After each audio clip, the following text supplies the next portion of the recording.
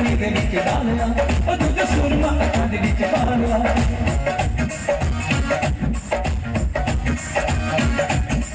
ਇੱਕ ਚਰਖਾ ਗਲੀ ਦੇ ਵਿੱਚ ਡਾਲਿਆ ਨੀ ਦੂਜਾ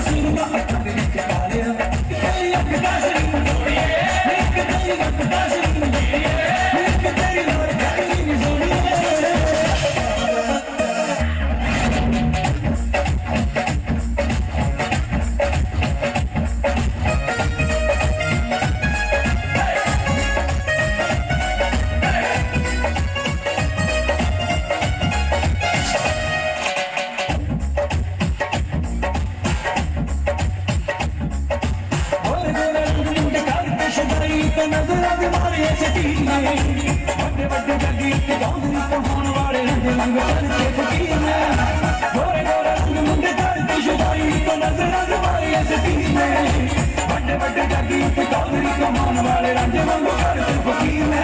ਇੱਕ ਲਾਲਿਆਂ ਨੇ ਤੇਰੇ ਸੰਗ ਪਾਲਿਆ ਇੱਕ ਚਰਖਾ ਗਲੀ ਦੇ ਵਿੱਚ ਡਾਲਿਆ, ਇੱਕ ਲਾਲਿਆਂ ਨੇ ਤੇਰੇ ਸੰਗ ਪਾਲਿਆ